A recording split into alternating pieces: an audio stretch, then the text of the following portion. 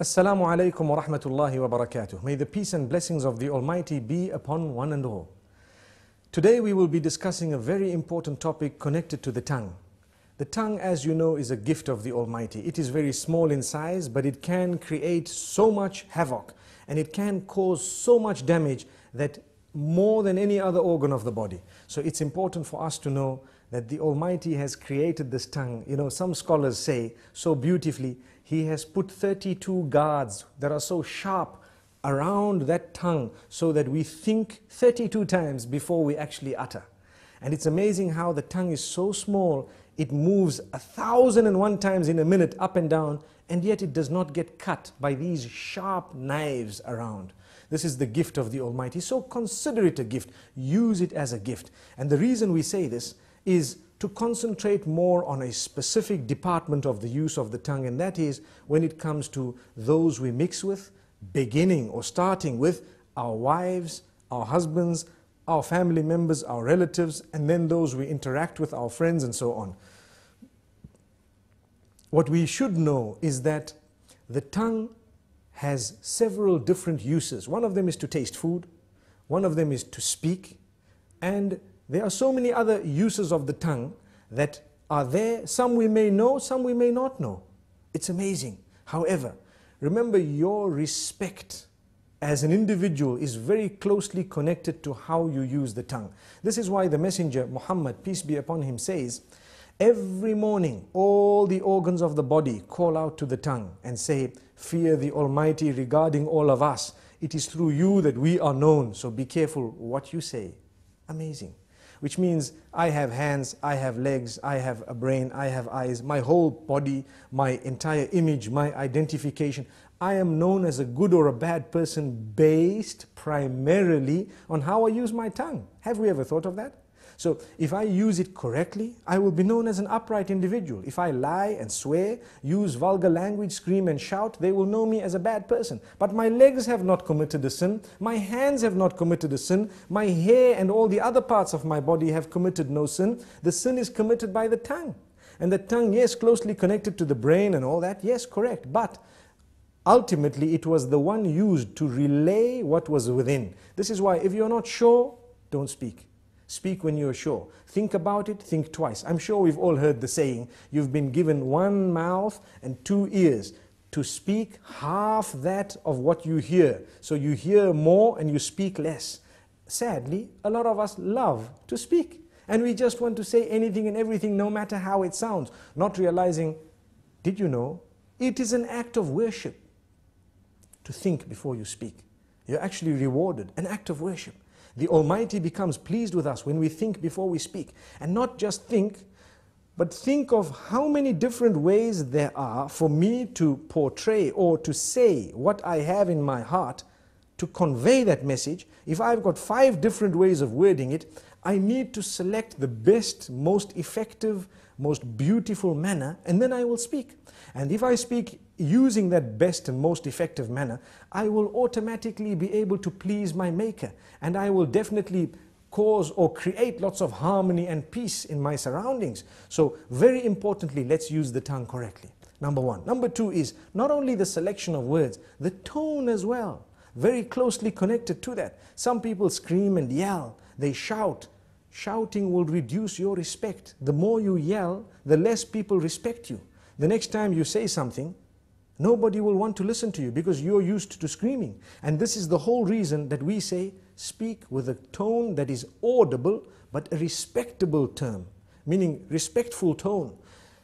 You will find, and I'm sure we've all seen this, when someone has a habit of speaking with a calm tone and always relaxed, you will notice immediately that the minute they open their mouths, everyone is silent and listening. Whereas when you have another who's always yelling and screaming, everybody's yelling and screaming with them. No one knows whether they are serious or not serious. And imagine if you hear a person yell or scream who has never ever done that in his or her life. Automatically you would know that this is something very important because this person does not use this type of language or does not scream. Amazing. So this is the importance of the use of the tongue, how it gives the whole image of who we are just by its use. Sometimes a whole company can come crashing because of a CEO making one statement that is negative or bad. And there are examples of that in, in history where we've seen this happening because of the abuse or misuse of the tongue. The same way a man who, is, who has always been respected can lose all his integrity within a split statement because of how bad it was and how evil it was. So we need to be careful. You are known by your tongue. Let us be careful how we use this tongue. We'd like to give a few more examples. Within the home, it is an act of worship to say words, to create the words and to utter words that will bring about a smile on the faces of your children and family members, your spouse primarily. Did you know that it is actually an act of worship to come home and utter words of goodness, sweet words, beautiful words, make people feel appreciated, make them feel wanted, make them feel the bond. And it is the tongue that makes us really connect to one another. And this is why we say it is an act of worship. So many people do not realize it's a charity to say a good word. A good word is a beautiful charity. We come home, we're silent. Silent being silent is something that's not good, especially when it comes to those who are waiting for you to say something of your own family. A good word. Yes, when there is a problem, you might want to remain silent for a moment. If you think that that is the best way of solving the problem for now, you might want to speak a little bit later. But even when you choose to speak, say the best words. This is from the messenger, may peace be upon him.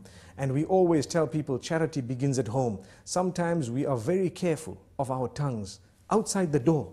Whereas when it comes to in the home, those who work for us, those who live with us, those who are the closest to us in terms of family and so on, they are so worried of us opening our mouths because every other word is a swear word. Every other word is a lie. Every other word is a word which is derogatory, defaming, which is disrespectful, which causes hurt and harm. Why should we do that? A good Muslim will never utter words that are hurtful to others. There is no need to do that.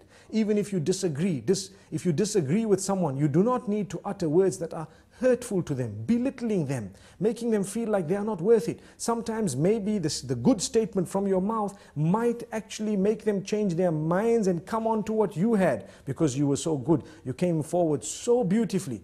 This is the religion. This is what we have been taught. Now let's ask ourselves, do we as Muslims really follow these teachings? We call ourselves Muslims. A lot of the times we swear so much that even those who are not Muslim are embarrassed. And it gives the wrong image of the teachings of the beloved messenger. May peace be upon him. And may the peace be upon all the other messengers. We shouldn't be doing this because we have the responsibility of portraying the correct image of the teachings of the Almighty. And these teachings primarily begin with a good tongue the messenger, when he was sworn, he, didn't, he did not swear back. He never swore back. The swear words never came out of his mouth. He says, a true believer is not he who is vulgar, is not he who speaks hurtful statements, is not he who lies, is not he who utters words that are hurtful to people, words that are incorrect, unjust. So we need to learn from this. Let us learn to be honest, tell the truth. For indeed, to lie would be a burden on the shoulders and it would be a very, very grave burden on the day of judgment. We should not be lying. We should not be hurting people's feelings. I hope I've said a little bit to motivate people to use their tongues in a better way, starting with myself and then everyone else. Remember, choose the best words, choose the best expressions, for indeed, to do that is a great act of worship. Until we meet again, Assalamu alaikum wa rahmatullahi wa barakatuh.